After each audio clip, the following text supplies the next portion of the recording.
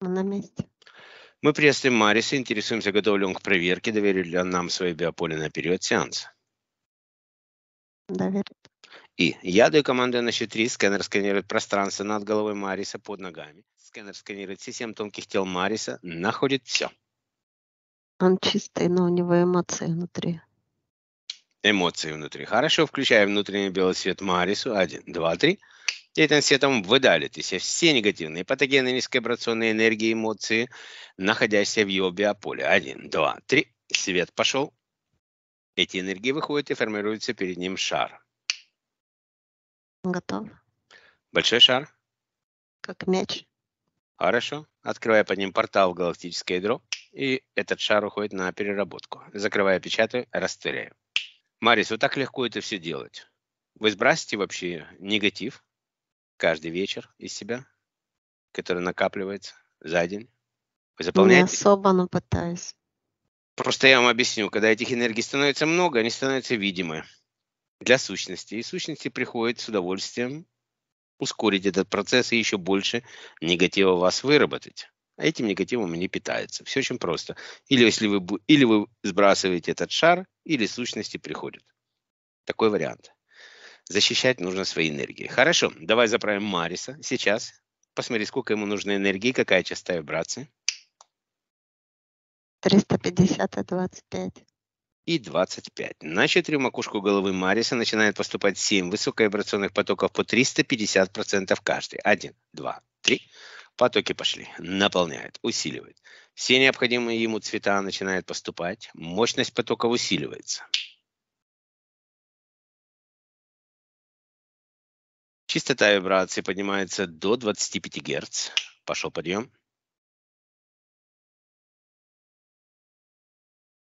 Готово.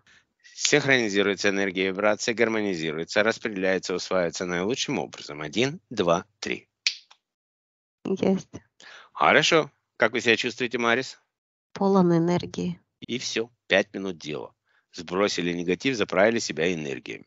Вот так это все делается. Каждый день. Вечером сбрасывается негатив, и перед, перед сном, и утром заправляете себя энергиями. Хорошо, у нас остались 10 вопросов к вашему куратору.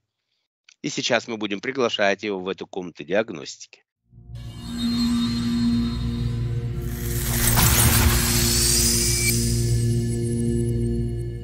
Я делаю запрос в энергоинформационном поле и приглашаю в эту комнату диагностики прийти куратора или учителя Мариса. Мужчина. Снимаются маски и голограммы, фантом предстает перед тобой в первозданном виде согласно своему эфирному коду ДНК. Мы приветствуем куратора или учителя Мариса. Представьтесь, пожалуйста, как мне к вам обращаться. Благодарю вас за мое присутствие здесь. Обращайтесь ко мне полон. И я куратор Мариса. Приветствуем вас, уважаемый Полон. Меня зовут Влад, это Вера. Рядом стоит ваш подопечный. Сегодня мы проводили его проверку, он чистый после чистки, но, по-моему, не особо сбрасывает негатив в течение дня, потому что немножко там накопилось. Уважаемый Полон, у нас есть 10 вопросов, которые Марис написал своему куратору, вам. Будьте ли вы так любезны ответить на эти вопросы? Именно для этого я здесь. Благодарю. Отвечу на вопросы и постараюсь разъяснить. Начинаем с первого вопроса. Кто я? Имеется в виду, скорее всего, какая, откуда моя душа? Кто я? Такой вопрос. Душа Юпитера. Юпитер. Это При- видно по твоим энергиям. И по моим тоже. Мы приветствуем представителя Юпитера в нашей комнате диагностики. Очень рады вам. Благодарю. Идем дальше? Или вы хотели добавить? Я ответил на вопрос. Идем Вот. дальше. Абсолютно верно. Второй вопрос. Какие энергии я несу? Энергии Юпитера похожи на неоновые синие потоки. Именно энергии Юпитера составляют твой стержень, наполняют тебя, твой дух и твое намерение. Энергии Юпитера находятся внутри тебя. Эти энергии дают тебе силу мысли, духа и принятия решений на жизни на Земле. Каждой энергии имеет свою особенность. Поэтому ты должен знать, откуда ты, свое происхождение и силу своих энергий. Любую энергию нужно гармонизировать, чтобы не быть резким и злым и негативным. В этом случае наши энергии темнеют, становятся темно-синего цвета и могут превратиться в кристалл, как камень в душе. В этом и смысл руководить энергиями родными, находясь в состоянии гармонии, блага и баланса, наполнять добротой и смыслом все вокруг себя. В этом случае энергии Юпитера синего, светлого, как, как неон, но не такие яркие, а в них больше синевы и полноты, полноты цвета, когда они в балансе. Они гибкие и плавные. Благодарю. Благодарю вас, уважаемый Полон. Я перехожу к следующему вопросу. Почему на меня совершаются агрессивные нападения, особенно когда я сплю? Любые энергии нужно защищать. Это можно делать также во сне. Все зависит от того, какое намерение, какой силы твой стержень внутри тебя.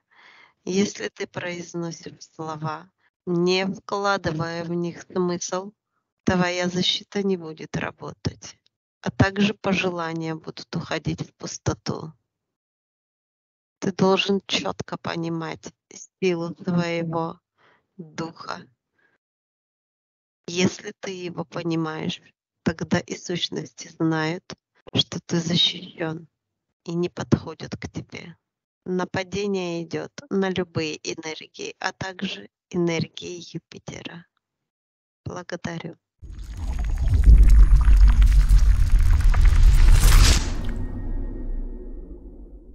Благодарю вас, уважаемый Полон. Я перехожу к четвертому вопросу.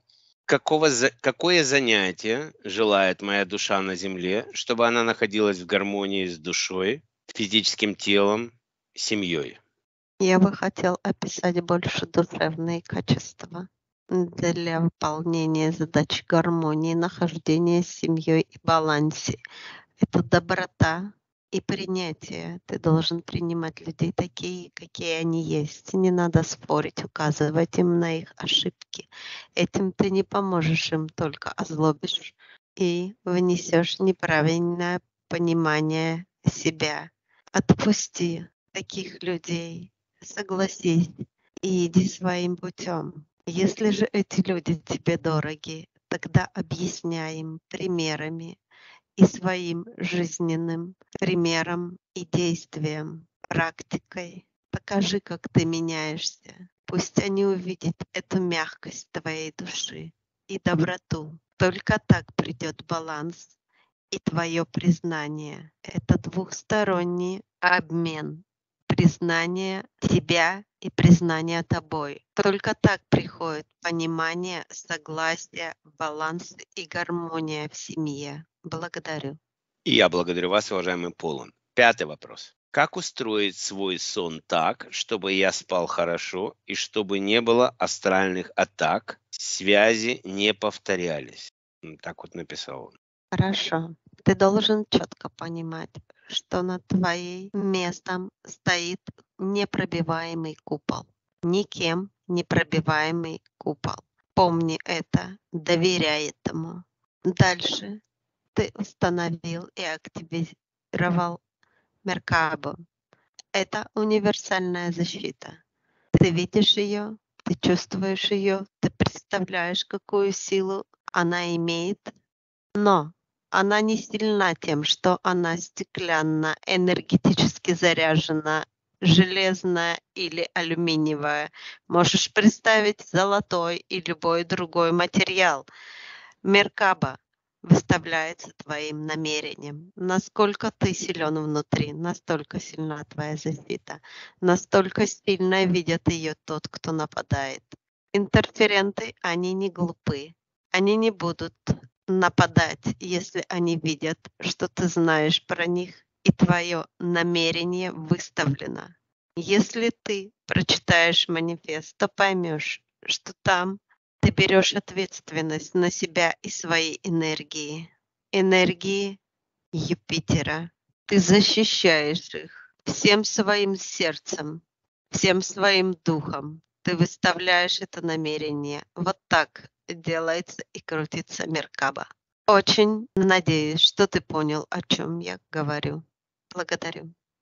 Благодарю вас за этот развернутый ответ, уважаемый Полон. Он действительно абсолютно точно описывает так, как надо ему поступать и как работает это все. Благодарю еще раз вас. Перехожу к следующему вопросу, с вашего позволения. Шестой. Какая техника будет наиболее подходящей для меня и наиболее удобной для эффективного заземления? О, это легкий вопрос. Та же Меркаба. Если ты установил ее, то ты понимаешь, что одним острым концом она идет в Землю, а другим острым концом она идет в космос, соединяя энергии Земли и космоса. Именно через этот тонкий конец ты можешь заземляться и также сбрасывать негатив. Все просто. Благодарю вас, уважаемый Олан. Мы можем продвигаться дальше? Пожалуйста. Седьмой вопрос. Какой самый короткий и простой для меня способ услышать моего куратора? Самый простой способ гармонизироваться внутри себя, представить и визуализировать свой стержень, который находится в балансе, остановить мысли, доверять месту, где ты это делаешь, делать это все без сомнения, в позитивном настрое. Только так ты сможешь услышать, но сперва ты сможешь увидеть знаки. Только потом, сбалансировавшись и доверившись, ты сможешь слышать мои ответы. У тебя долгий путь до этого. Работа над собой которую ты начал, должна продолжаться. Это не манипуляция и не действие каких-то определенных движений, после которых должна настать благодать. Нет, это проработка внутри себя своей души и своей энергии, настрой на позитивный лад, на гармонию и баланс чувствовать вокруг себя энергии, которые соприкасаются с твоими энергиями понимать свои защиты, понимать знаки, которые я даю тебе, мелкими шагами представлять и видеть энергии, сбрасывать негатив, подключать цвета чакр или же энергетических центров, понимать, как они заполняются. Это все маленькие действия, которые приведут тебя к определенным знаниям и замене твоего сомнения на то, что ты начнешь чувствовать и понимать. Только после этого ты сможешь прийти к другим практикам, где ты сможешь услышать меня. Благодарю. Благодарю вас, уважаемый Полун. Восьмой вопрос. Как обезопасить себя – я пишу аффирмацию и делаю меркабу. Я делаю все, что могу, но на самом деле не работает так, как хотелось. Думаю, я ответил на этот вопрос. Нужно отвечали. верить во все, что ты делаешь, Конечно. без сомнений.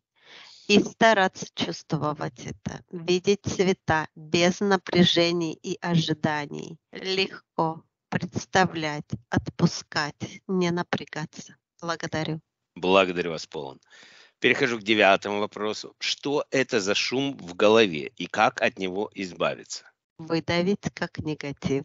Это будет твоей домашней работой.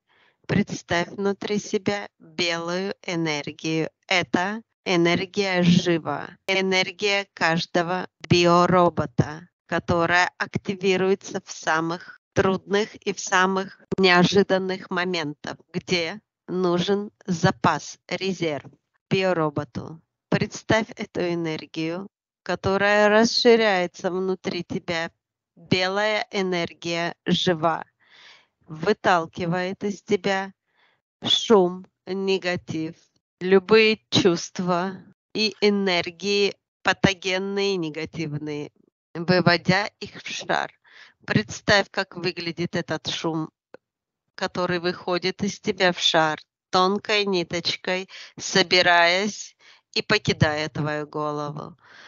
Этот шар нужно скинуть в галактическое ядро на переработку. Для этого ты открываешь портал галактическое ядро, визуально сбрасываешь этот шар и закрываешь портал галактическое ядро. Благодарю. Благодарю вас. Мы, в принципе, проводили его чистку. Он, этот, он видел, как мы жи- энергию живу выдавливали, этот шар даже сегодня выдавливали. Я у него спросил, выдавливает ли он из себя негатив, так как он был полон эмоций. Но, видимо... Он не выдавливает, он делает аффирмации. ну, Он аффирм- проводит практики и говорит слова. Понятно. Не пропускай. Я имею в виду, что он не применяет теорию, а теория нужна для того, чтобы прочувствовать внутреннюю силу, которая защитит тебя и сделает гибким, смелым, понимающим, добрым и любимым для окружающих. Благодарю. Благодарю вас. А еще также можно любую боль выдавливать из себя, если что-то болит. Хорошо. Переходим к последнему, десятому вопросу. Хороший совет для моего ума от куратора, чтобы принести спокойствие моему уму. Так он сформулировал. Дадите ли вы ему какой-то совет от да, себя? обязательно. Благодарю. Улыбка и позитив – это самая первая настройка для ума. Постарайся так, чтобы, улыбаясь, улыбались твои глаза. Это будет искренний, позитивный настрой, с которого все начинается. Если этого нет, всегда будут лишние мысли, шум в голове, даже если твои губы расплылись в оскале.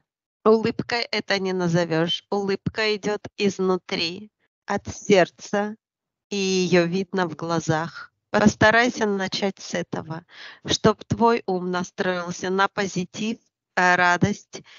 Что бы ни происходило вокруг себя, твоя сила, она внутри тебя. Активируй ее, поняв себя. Без этого ты не сможешь идти дальше правильным путем. Потренируйся найти позитив внутри. Убери все тревоги и прошлые ошибки. У тебя впереди большой путь. Интересный и познавательный. Начни с улыбки и позитива. Вокруг тебя уже много информации. Пользуйся практиками. Благодарю. Вопросов больше нет, уважаемый Полон. Если вы хотите сейчас активировать его стержень или добавить что-то от себя, это был бы самый лучший момент. Стержень активирован, как я уже сказала. Вы можете видеть энергии Юпитера у него и у меня. И я хочу добавить, Пожалуйста. хватит теории, переходи к практике. Благодарю. Отлично. Остался маленький нюанс, уважаемый Полон. В этой комнате диагностики существует очень добрая традиция. Каждому куратору, каждому учителю, который к нам приходит, мы делаем всегда один определенный подарок. В твоих руках, Верочка, появляется большая корзинка с самыми вкусными, спелыми, и сочными ягодами, которые есть на земле. Один, два, три. Мы спрашиваем разрешения уважаемого куратора Полона передать ему этот скромный подарок в знак благодарности за его помощь, за его ответы и просто на добрые воспоминания об этой встрече.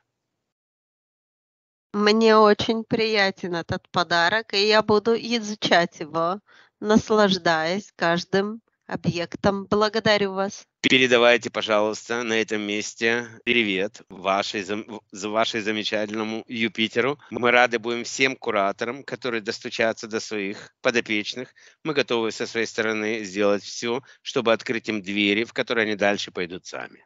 Это отлично. Я сам проверил на себе и буду нести ваш свет на Юпитер, Благодарю вас. распространяя Да. этот прекрасный метод, подход и объект. И я имею в виду комнату диагностики для встречи со своим подопечным. Замечательно. Благодарим вас на этом месте.